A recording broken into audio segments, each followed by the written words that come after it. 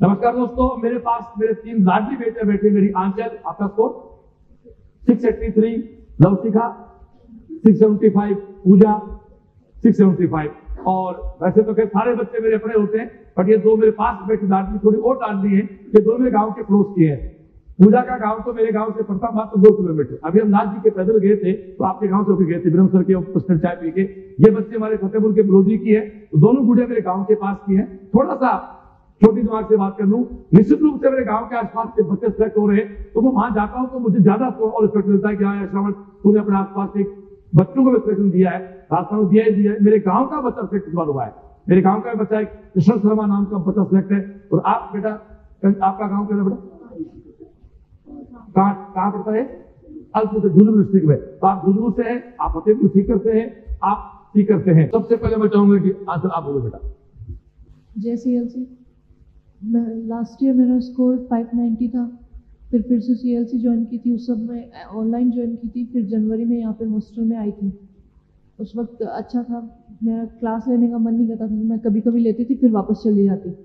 और उसके बाद मैं आठ मई को घर चली गई थी उसके बाद में टेस्ट का शेड्यूल रेगुलर रहा था और उसके बाद स्कोर इंक्रीज होता गया और अब सिक्स एटी थ्री है। आपके पापा? Please sir. जय सीएलसी मैं ये कहना चाहता हूँ सीएलसी से अच्छा मार्गदर्शक कोई नहीं हो सकता। हम किसी के कहने से और किसी के और बैकार में नहीं आकर के सीधे आए थे बहुत से मिले और ये बच्चे हमारी नागौर पड़ी की एक और है इनसे छोटी उसका स्कोर इस बार कम हो गया दोबारा कोचिंग ज्वाइन करवा रहे हैं। और बस यही कहना चाहता हूँ इससे अच्छी कोचिंग हमारी नज़र में कहीं नहीं है। इससे अच्छा मार्गदर्शक कोई नहीं सकता बहुत ही अच्छा डिसिप्लिन है यहाँ का। और धन्यवाद। आप क्या करते? हैं मैं परिचालक हूँ इंजीनियरिंग डिपो में। पहले एजुकेशन से जुड़ा हुआ था। इंजीनियरिंग कॉलेज में लाइब्रेरियन रहा हुआ हूँ मैं आठ साल।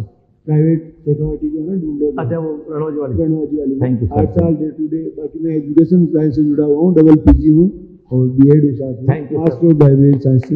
मैडम कुछ बोलना धन्यवाद अब मैं चाहूँगा हमारी बेटी पूजा जो बिल्कुल मेरे गाँव के सबसे नज़दीक मेरे गाँव के सबसे नज़दीक की बच्ची है। आपका स्कोर है पूजा बेटा? सिक्स सेवेंटी फाइव बताएँ बेटा। जय सी एस सी मेरा नाम पूजा। मेरा लास्ट ईयर स्कोर है फाइव फाइव टू और मेरा मेरा इस साल स्कोर है सिक्स सेवेंटी फाइव और मेरे परिवार का और सी एस सी का बहुत ज़्यादा सपोर्ट रहा। थैंक यू प्लीज़ आपको जय सी एल सी सबसे पहले तो मैं बहुत को धन्यवाद देना चाहता हूँ और मेरे गाँव की पड़ोसी हैं। और सबसे रिक्वेस्ट करना चाहता हूँ बहुत से कि मेरा गाँव हाई रोड पे है बीकानेर जयपुर रोड पे तो एक सी का बोर्ड लगाई बस स्टैंड पे। बिल्कुल लगा देंगे और नोट कर लो भाई लगा देंगे। भगवान से कामना करता हूँ अगली साल तीन हज़ार सिलेक्टेड बच्चे हो इसी हॉल में। जय एल थैंक यू आप लफ्ज गए पापा को दे माइक जय एच सी सरोन जी ने हमें बहुत ही अच्छा योगदान दिया है। हमारी बच्ची दो साल से इनके पास है। ये पहले साल में सिलेक्ट हो जाती लेकिन वो चंचल बहुत है। और उस पे इनकी नज़र रही तब वो छह सौ पचहत्तर नंबर लाई। थोड़ी और नज़र रखते तो सात सौ बीस ले आए। मेरे को ले आती पक्का ले आती है।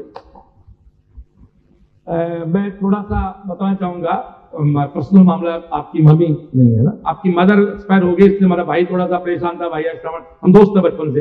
भाई श्रवण थोड़ा ध्यान रखना। माँ जब घर में नहीं होती है ये सच है लड़कियों में सबसे ज़्यादा डांट किसी को मेरी पड़ी हुई है ना? किसी को पड़ी हुई है। सेवेंटी फाइव नंबर ये सात तो ला सकती थी। थोड़ा सा एग्ज़ाम में दो चार क्वेश्चन आगे पीछे हो गए। तो ये तो तो परिवार है यहाँ यहाँ के लग कहीं लग रहा है कि अपन अलग अलग है। जबकि नो डाउट अपन जब पहली बार आए तो अलग अलग ही थे। कोई कहाँ से, कोई कहाँ से।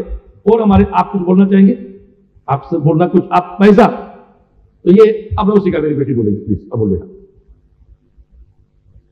हेलो मैं रवशिखा मेरा लास्ट ईयर मतलब पहले सी एल सी में आने से पहले मेरा स्कोर था फाइव हंड्रेड टेन फिर मैं सी एल सी आई उस साल बाई चांस कोविड और फिर मैंने टेस्ट सीरीज़ वगैरह कुछ भी नहीं दिया था लिटरली सब कुछ मतलब एक तरीके से जैसे कोविड में लॉकडाउन के टाइम चल रहा था, मैं एकदम से पढ़ाई से बिल्कुल दूर थी.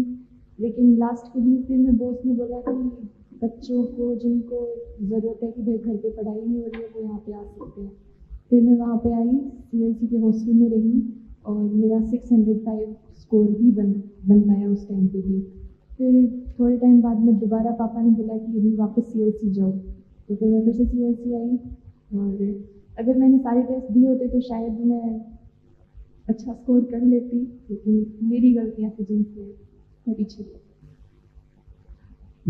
बेटा, आपका स्कोर 675 अच्छा स्कोर है। 510 से बढ़ के 675 पे जाना। कहना बहुत आसान, बड़ा अचीवमेंट है। और कुछ बोलना तो ये हमारी तीन बेटियाँ, जो पहले तीन हज़ार रैंक में है, आप 675 आप है?